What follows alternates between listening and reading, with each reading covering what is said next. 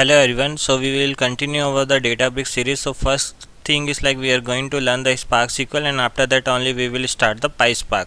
Okay so let's explore the databricks uh, notebook space how actually we can use. So with the help of the spark sql everything we are going to learn and we will try to explore it. Okay once it will complete we will start a pyspark series. Okay so what we had to do once you will log into the community.cloud.databricks.com right you will get to see this particular screen. What is our first step is like first step is to create a cluster. So go to this compute okay? After that click on the create compute. First thing is to create a cluster because once you will be having cluster then only you will be able to execute your jobs and whatever the query you are writing right? So first thing is to create a cluster. You have to give any cluster name okay? And by default the free 15 GB memory this is the uh, this is the addition we get in a community edition so that actually we can utilize. Cluster is nothing but it is a group of machine. Okay if you are using multiple machine uh, to execute in a parallel to execute your job we use a cluster okay? That actually we will talk about more in a later okay?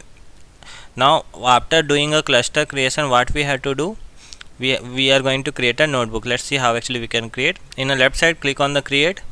Go to the notebook and uh, give any name. So I will give the spark SQL 1 okay? This is the notebook name I am giving. Uh, the language you can select anything. We have a Python SQL Scala and R. We are going to learn the Spark SQL so we'll see how actually we can use a SQL so we will select the SQL okay? After that you have to select the cluster. Click on the create. Okay? Once you will create the, you will get to see this particular screen. Okay? I have selected the background as a black but uh, by default it will be white okay? But the it will look like the similar only okay? Now uh, it looks similar to the our uh, jupyter notebook okay if you are familiar. Now here we can write any kind of the sql query okay? Like uh, select from table and all any kind of the query you can execute uh, and you can write any kind of the sql and you can execute okay? Now what we will do we will try to create one table with the csv file. How actually we can do in a ui itself? What we have to do you go to the this data okay? Click on the create table okay? You can pass any location also. I will select the browse okay? In a browse option i will select let me select one file. Let me select the employee file okay? Once you will select the file you will get two options create table in a notebook query or create table with UI we will select the create table with UI okay after that you have to select the cluster. The cluster we have we just have created right? Generally it takes time so we will wait it to be completed. After this we have to select the our cluster and click on the preview table okay once we'll click on the preview table we'll get couple of option. What is the table name we want to give? So i'll give a table name as a employee underscore csv this is the table name i am giving. After that it will ask for the create in data set uh, database. If you have any database th that actually you can select it. What is my file type so i will select the csv even column delimiter if it is a comma separate anything you can mention here. First row is header. If you select the first row it will consider as a header okay infer schema means automatically it will select like id should be in integer salary should be integer so automatically it will select. So i will select the infer schema also. And here only you will be able to preview your data. It is uh, getting processed so let's wait it to be completed okay? Uh,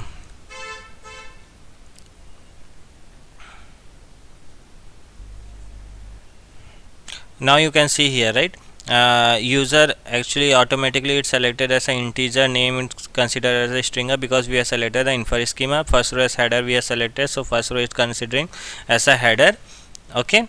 And all the thing you can see it okay? Now we'll click on the create table. So that is how it simple it is okay? Employee one underscore csv this is the table we have created okay? Uh, okay so this is the infer schema and by default it selected the database as default.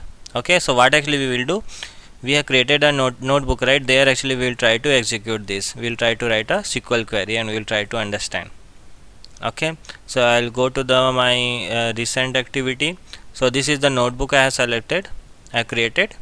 So I'll select that. So I created a table right? So what actually I will do? I will give the table name. So this is the table I have created by UI so let's try to execute. Select star from table. This is the table if I will execute. Okay. Shift and enter. If you will press it will get executed. Okay. Select let's from employee 1 csv you will be able to see your table details. Okay. Now our sql co code is running. Now if you want to write any kind of the sql query you can write here. Suppose if i want to know the sum of the salary. Okay what is the sum of the salary from the employee 1 underscore csv table? If you will do you will get the result. Okay this is how the simple it is. Okay sum of the salary these details you are getting. Okay so what actually we'll do uh, we will try to learn more about it like uh, we'll try to learn every uh, SQL commands we'll try to execute it and we'll try to explore more.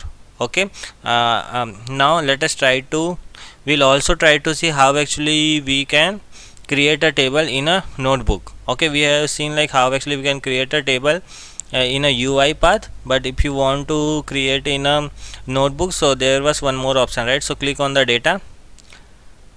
Click on the create table. Okay select it file. Let me try to select the same file again. Try to upload that file here we have on one more also create table in a notebook. So I'll click here. Create table in a notebook. So what actually it does it automatically it will create a notebook for you. And this is nothing but your PySpark command python command we have. So what actually it is doing this is the file location and the file type it is passing. Infer schema we were giving right? So everything by default the code actually it was written and it is creating a data frame. Actually this all the thing we will learn later okay? But as of now you can see this is if i will execute this you will get to see the data frame with that particular file okay? And this is the table name which is which it is going to create okay? So this is also one way to create a table okay?